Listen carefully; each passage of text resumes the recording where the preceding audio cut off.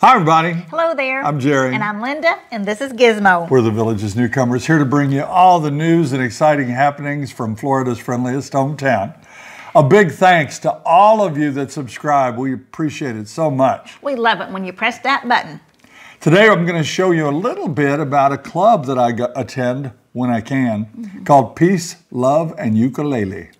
And should there be a cap on amenity fees? And also, fall foliage withdrawal. That's easy for you to say. It's hard to say. Go ahead. You want a deli? We got a deli for you. All that and more. Hit it, Wally. Send us your questions, we've got your answers. Jerry and Linda's Mailbag Monday. It's getting chilly. I had to use my uh, uh, jacket in the morning, and a couple days I even used gloves. You know, we'll know when it really gets chilly because we'll roll the sides down on the golf cart mm-hmm. and maybe get that propane. Propane. Huh. What's a propane? Propane heater out and put it in the uh, golf cart. Oh yeah. That thing will will roast you though. You got to be. It will. Yeah, yeah, but it's good. We're not complaining. We love it when the temperature drops here. It's beautiful. You can walk and it's crisp and it reminds me of fall back home. Yeah, we're starting the last week of October. We still we haven't had any heat on yet, of course. but things are nice and we're getting to the kind of weather during the days that you come to Florida for. It's mm-hmm. just beautiful. Right. We want to recognize our amazing viewers that sent us gifts through that thanks button. It's called Super Thanks located at the bottom of the screen. Here they are, their names are scrolling. We appreciate you. Thank you so much. One of our sons came up with an amazing idea. He knows we have just a vast army of viewers out there, and you're doing cool things and you're seeing neat things. So if you do and you send us a video, we'll look at it and perhaps put it on. Keep that video to about 15 to 30 seconds long, maybe just a little clip of your fun. And remember to keep that video in horizontal format, landscape. And I think that could be fun. That will be neat to see what's happening all around us. There's a club that meets every Monday, and I try to go when I can. It's called Peace, Love, and Ukulele. And of course, the ukulele gives it away. I would say there's a hundred people that gather and play the coolest songs. They put them up on a screen. Well, take a look at this video. So many people there socializing, playing ukulele, learning new songs together, and they'll do public performances, and they'll even uh, go to venues like uh, I don't want to say what do you, that's what I used to call old folks' home. What do you call that? retirement homes. Retirement home. yeah, and perform for the uh, uh, I don't want to say inmates. What do I want to say? Residents. They feel like residents. and it's a great, and I'm really happy to be part of that even though I can't play the ukulele, I, I want to so bad. I, am really working on it. My fingers are big and they're slow, and, and uh, we are getting slower. But I think you said it meets every Monday, but it doesn't. It's occasional, but you'll have to look that up in the Rec News, maybe, or uh, and there are other ukulele clubs. We had another one. Yeah, there's another one. There's lots. It moved down to yeah. Everglades, so yes. we we kind of stopped going. We may start back doing that again because I really yeah. do want to learn to play. Yeah. Here's a question from Ben up in New York. Living in the Northeast, we have lots of great delis. Do you have any good kosher delis in the villages? Thanks for the question, Ben. Do you remember when you and I went to New York City? We did. And we were. Oh, uh, oh yeah. We wanted to go to the world famous Katz's Deli. Oh my gosh. Everybody, you got to go. And that's neat because in New York, I guess everybody that's anybody. Uh-huh has gone there, yeah. and their pictures are all up around, right. and it's really cool. Oh, uh, the I, sandwiches, I pastrami. I mean, like mile high. Oh my gosh! Let us know if you've been to Katz's Deli. Yes. Oh my. Now, here in the villages, inside the villages, I don't know of any delis other than TooJay's, which I consider that a deli. That is. It's very good. It's sure. it's a restaurant chain actually. Mm-hmm that focuses on things like that mm-hmm. pastrami is right. real good. They even sell a pastrami burger that's crazy good. Uh. But we actually found the New York deli. That's probably what you're talking about. And it was out on Highway 441, mm-hmm. and we went there and we ate. Mm-hmm. You can see some footage in there from the uh, from the restaurant itself. Very low key place. It's lovely. A bunch of girls went with me, and we went sat outside. It was a lovely day. It's a place you're going to want to go. From the outside, it kind of reminded me of a butcher shop or something. So it's here for you. We think there's another one maybe in Leesburg. Mm-hmm. When you talk about Leesburg, it's not far away. No. The villages touches Leesburg, so you can leave the villages and be in Leesburg in five minutes. Um, yeah. So we there's we think there's one there. But that New York Deli, give it a try if you're here. A lot of interesting stuff there.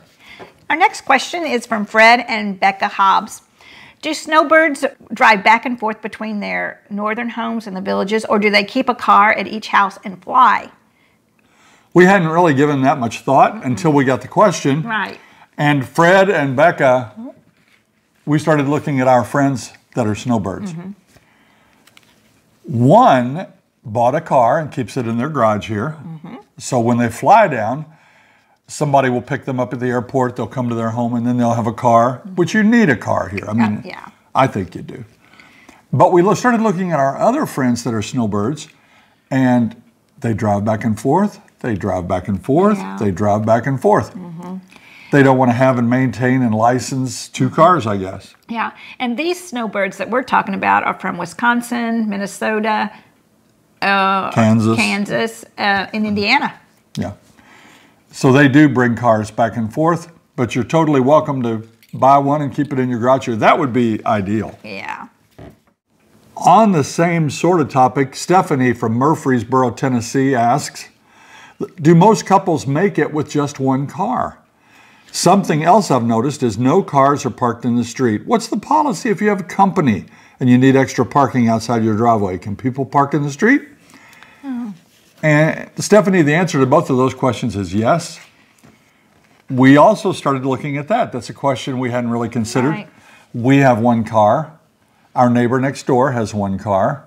Uh, our neighbors across the street have one car. Our friends over here have one car. Very few couples here seem to have more than one car. This is from Marjorie. Please show video or pictures of your backyard. Yeah, Marjorie, this is it. You're looking at it there. A lot of the viewers have seen this over the last four years that we've put out uh, videos. Those trees are beautiful, aren't they? They're not really our trees. Those, those are on our neighbor's property. Yeah. But we sure enjoy looking at them, uh, the classic Florida palm trees. Matt and Kristen from Hagerstown, Maryland have a question. As mortgage rates are rapidly increasing, are the villages seeing a decline in monthly home sales? And do many first time home buyers take out mortgages? Well, we never know the answers to things like this. We know what we think, Yeah. A good guess. but I ask someone in the know, somebody official, somebody who shall remain nameless, and they told me even now, even as the homes are so expensive, and even as the rates are creeping up, I looked yesterday and the they're over six percent. It seems like a year ago you could get the uh, mortgage for half of that. The village is still sets a record almost every month on home sales, so home sales have not slowed down whatsoever. I would have thought they would. yeah, I, I did too. And check this out if you're wondering. Do many first time home buyers, buyers take out mortgages?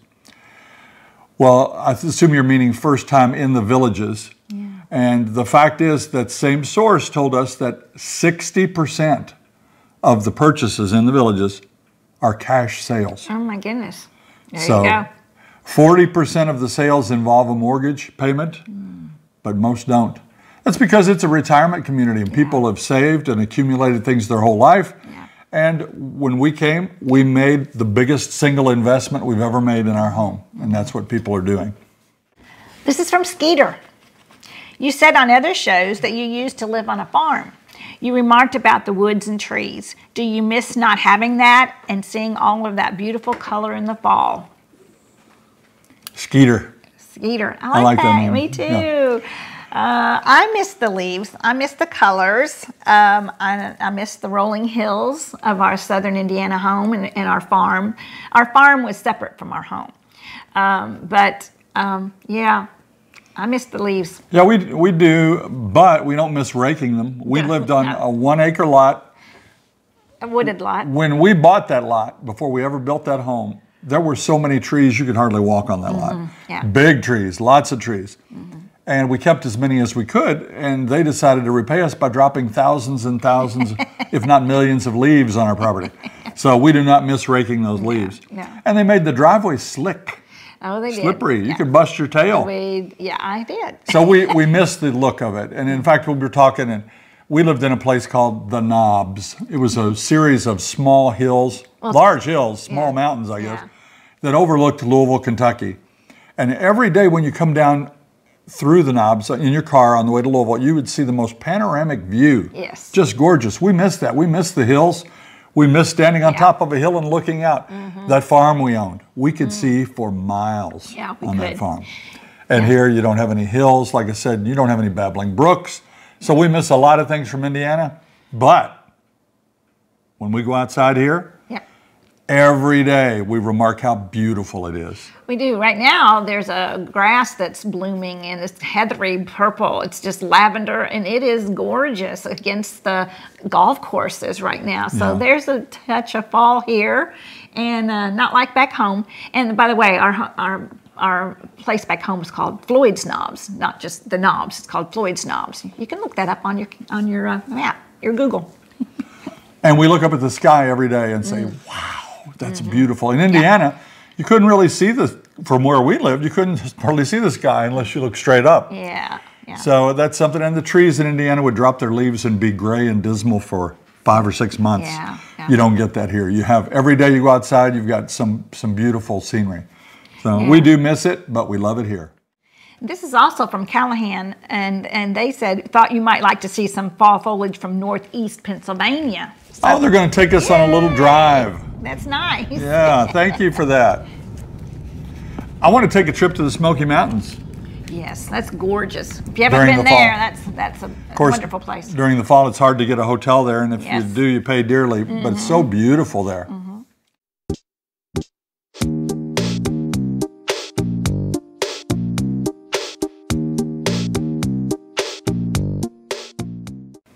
Already, if you if you, it looks like we're crying, she's not beating me.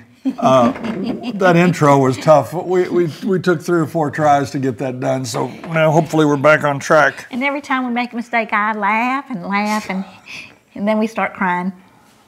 He, I'm laughing because I'm, I think it's funny. He's, he, I don't know if he thinks it's funny.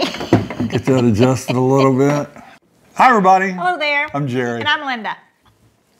That's Gizmo. Oh. Let's start again. What are we going to talk about today? Our subscriptions. Let's get this show on the road. Shouldn't that be the full screen? Why is it black on that one side?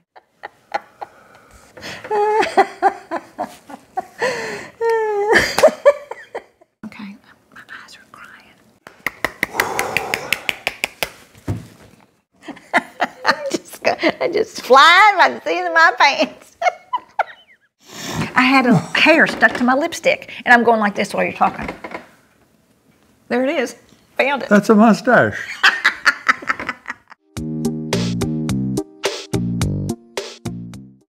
if you have the Nextdoor app or you read the Village's news, you're going to see the hot topic the last couple weeks are amenity fees. People are trying to decide do we want a cap on the amenity fees or no cap? Some people say we need a cap, it can't just keep increasing every single year. And other people are afraid, well, we came here for the scenery, the beauty, all the amenities, all the things we enjoy cost money. If we don't keep paying that, you know, when the when the cost of living goes up, those amenities fees are going to go up. You know, it's a kind of a catch 22. Yeah. We want all the extra things, but we don't want to pay for them. I know. So here is a few things uh, that were written. Most certainly, a cap for amenities should be put in place. As we age, myself 22 years since we moved in here, what they mean is they were probably 50 when they moved here, they're 72 now. I and many others cannot participate in many of the amenities offered here in the villages anymore. Yeah. Therefore, paying more for the wonderful extras we can't use. I'm not complaining, just stating it. I wouldn't want to live anywhere else. Right. That's part of the argument.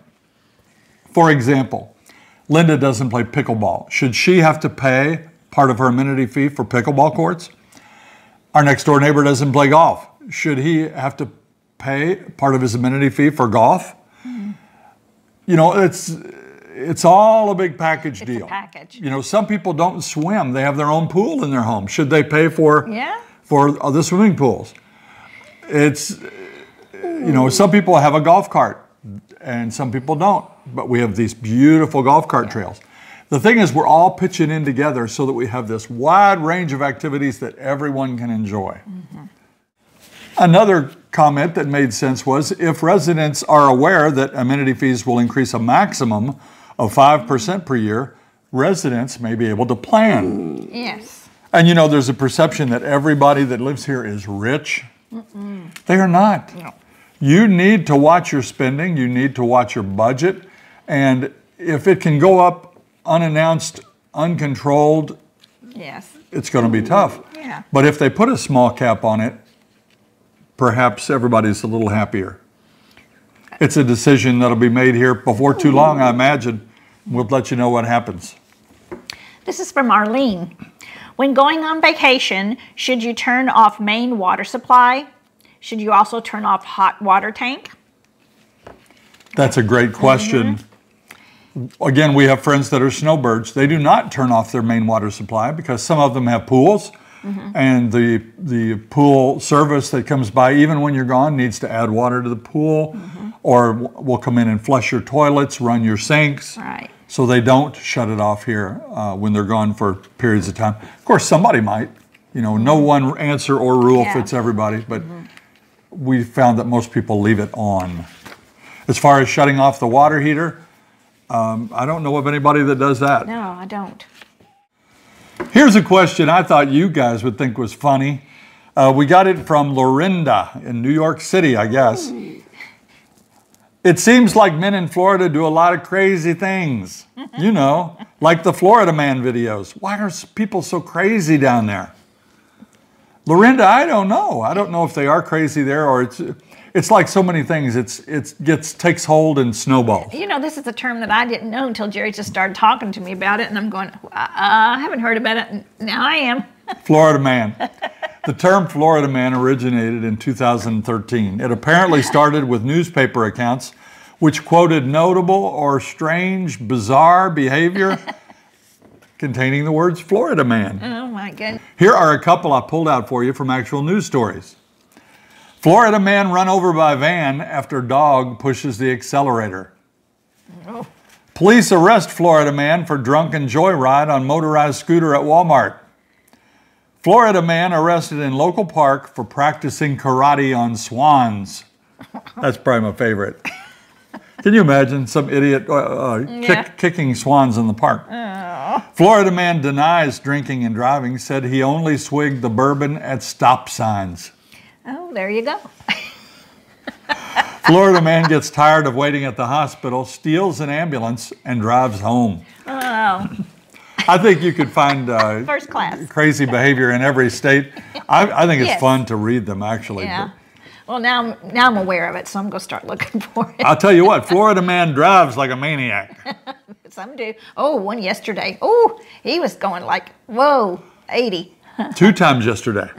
Two times. We had a rough time yesterday getting home. She, she yells at me in the car. I don't Do you yell at your spouse in the car? Oh, yeah.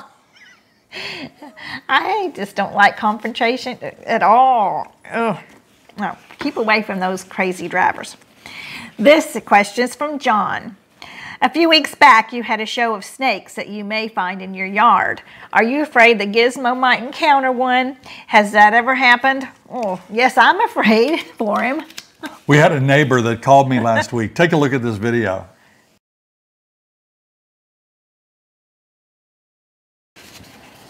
I have always considered snakes just to be animals. You know, uh, they're not slimy, they're not aggressive. No matter what people will tell you, most snakes, all they want to do is escape. So if they take off like that one in the video, he wasn't coming at me. I was down eyeball to eyeball with him. He's just trying to get away. Well, as a woman, we are all scared of snakes. It's just it said so in the Bible, Jerry. we are all going to be scared of snakes. Well, here we've seen quite a few snakes. I'm by quite a few. I mean, one every two or three months. Yeah, we don't see them often. No, fact, and, and they're almost always black no, snakes. most of them are black snakes that we've seen, and we have not had a snake in our yard in probably two years. It's been a while since we've seen a snake. Now watch one come up. and here's our last question. Oh. Cheryl asks, just curious, with all the T-shirts you both own, have you had to add space in your closet or dresser? Well, this is our long sleeve. This is our only long sleeve. We need another um, color the seafoam green. We need a new winter shirt. People comment on this shirt. They say, "Are you wearing it backwards?" Because Oh, because it has this. It has a logo. It on, it's on front and back. It's more like a football jersey almost. Yeah, it's like a But we have it out the long sleeve today because of the cool weather. yeah. We do have a collection of T-shirts. Let's take a look. Well, here they are.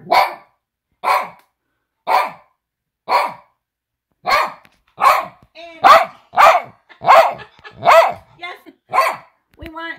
He's wanting to.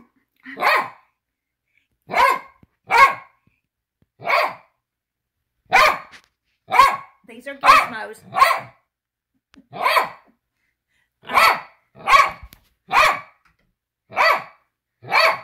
And then over here, ah! there's about 15 colors. Ah! Ah! He says he wants more colors, Jerry. It's always a topic of conversation when we film Mailbag Monday. Which shirt are we going to wear? and we used to wear them when we went out and filmed the Thursday videos. But Linda, she's got an extensive wardrobe of blingy other things that she wants to wear sometimes and show off. So we, do. we don't usually wear them except on Mailbag Monday.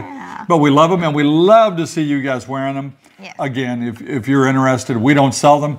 Just go to Etsy, look up Jerry and Linda, and you can find our provider, which is Garment of Praise. It's a very nice lady out of Idaho that sells those shirts. We don't get any money from them, but uh, she's a very nice lady and she'll take good care of you. It's time for shout outs.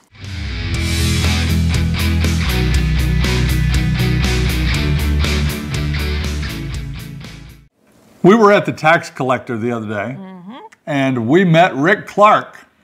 Yeah. And uh, we don't have a picture of his wife, but he said that they watch. He was changing over his driver's license and ran into us, and we want to take a few minutes to welcome him to De Luna. Oh, yeah. This nice collage was sent by Cheryl. She's invited us to join herself, Benny, Mike, Raina, Ra- Ramon, Natalie, and Terry at a block party coming up real soon at St. John's. And we've never been to St. John's. Looking forward to that. Yeah, we'll go there and see what it's all about. And always en- enjoy being invited to block parties. We can't go to all of them. No. We're not really party animals. You guys think we are because we post some videos. Well, yeah, we like to come and sit and uh, sit in the driveway and listen to music. We love to do that. She's a great dancer. Uh, I, I'm a buffoon, uh, but she is a great dancer, and uh, she'll come down and dance with y'all. We're going to try to make that, Cheryl. Thank you for the invite. Al and Barbara Nickerson, they come to us all the way from Massachusetts. Recently bought a home in the really nice village just north of here of St. Charles. Yeah. We want to welcome them. Here they are in their winter coats. Do we have any winter coats Uh, left? we do. You can get rid of those. Well, maybe not get rid of them, but you won't use them as much down here. no. I still have cowboy boots, and, and I'll tell you what, winter is kind of cool down here. it? Yeah, yeah. Yeah. It might get down to 40 degrees. Well, it's gone in the 30s. A l- It has a or few times. What was the low temperature so far this this year? It's, Mm, 43. it's October 24th, 42 or 43. Just right for wearing that jacket that you've Mm-hmm. Been wanting to wear. Right. So you'll get you get a chance to wear a few of your winter Right. things. And believe me, it'll get cold enough to put those coats back on, That's- Al and Barbara. That's true. And this is a big hello to Ron and Jody Miller. They have a new home in the village of Sanibel, and that's not too far from us. And we want to welcome them, and they're here in the front of that famous sign. Congratulations. Sanibel's right up there near Yeah. Sarasota Golf Course. That would be mm-hmm. an ideal mm-hmm. location if you'd like to play Sure. golf. Linda got to meet Donna and Stephen Hoover at the Seabreeze Rec Center.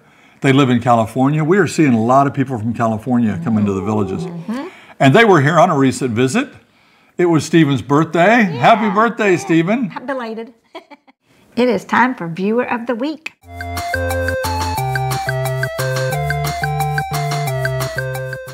One of our frequent viewers is Ronnie Delaplane. Ronnie's lived here for quite a while in the villages, and he's a retired Marine. I guess you're never really a retired Marine. He's a Marine. Mm-hmm. Thank you for your service. Thank you, Ronnie, for your service. He always provides some good and interesting answers to our questions, and we really appreciate him. And uh, thank you for watching, Ronnie. He's been really good today. You see, he's been moaning here a little bit lately. He knows when we get to the shout outs, which we're doing at the end now, that it's almost his turn. So he's ready. Did you come up with anything this week? Okay, take it away.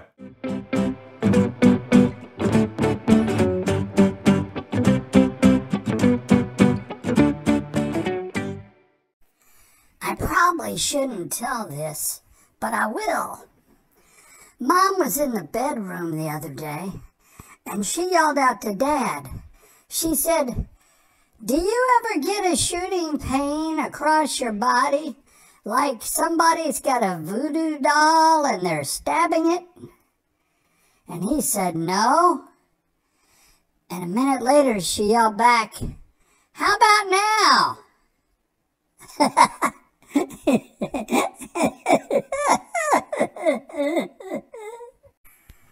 you know why a nose cannot be 12 inches long? Because if a nose was 12 inches long, it would be a foot.